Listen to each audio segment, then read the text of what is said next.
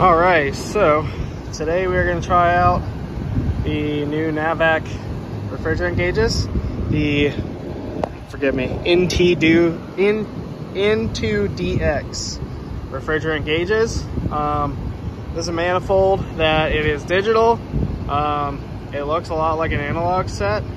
Um, you can adjust the refrigerant and it's got uh, nice accurate saturation temperatures right here. So today I'm charging this air conditioner. I got some refrigerant here. Um, my scale hooked up, zeroed out. Um, I have that to measure my superheat and subcool because it doesn't do it through the uh, gauges, but it's the first time charging uh, with this system. As you can see, we're low.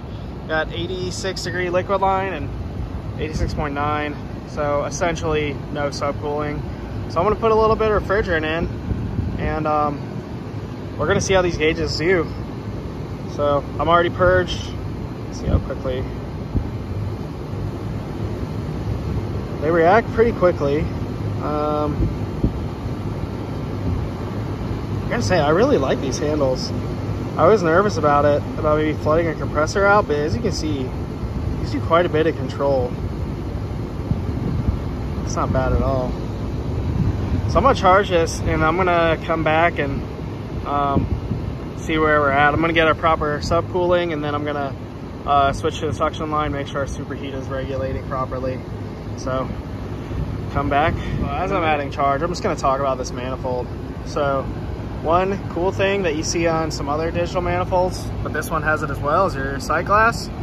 So you can actually see liquid refrigerant going through there, for example.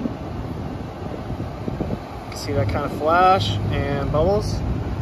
Um, it's a really nice manifold, honestly.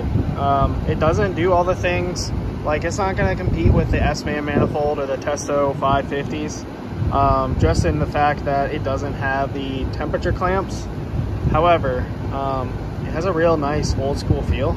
Um, a lot of us kind of graduated to, I don't want to say graduated, but we started using digital manifolds after we've been in the field for a while, more accurate readings and things. Um, and these, they still have the dial on it, which is really, it's really cool. Um, and uh, it still has the accuracy of a digital manifold, which I really appreciate because um, I really like seeing how my numbers turn out. Um, yeah, I mean, it's definitely a nice product, especially if you're coming off of being used to analog gauges. Um, kind of an old school guy that really likes the needle and being able to watch it. This is a really good option. Um, I will say I did get these for free from going to the HVAC school symposium. They gave out a bunch of them, so thanks Navac. Um, and um, I'm just giving my honest review here. Um, so far, I really like them. I haven't used them a ton, um, but they're a nice set for sure. It definitely makes me want to look more into some of their higher end products, some of their higher end manifolds. Um, but yeah, it's nice and light. It's got good materials. Um, it's been in the back of my van and you know, can't even really tell. I still have the screen protector on it. Might as well protect the screen as long as I can. Um, but yeah, I mean, definitely a nice set here.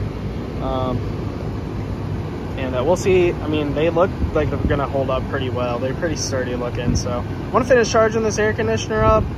Um, but yeah, that's kind of my, uh, my review of them. And uh, like I said, I really like these quarter inch ball valves, um, or shut off valves. I didn't really think I would because I'm used to the Fieldpiece ones that you turn all the way.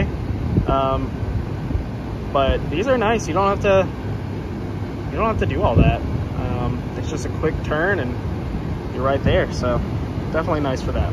So that's probably gonna be about it. Um, not a long video, not a super long review because they are a simple manifold. Um, you do have a lot of refrigerant options though, which is pretty cool. Um, this shows you what refrigerants you can get.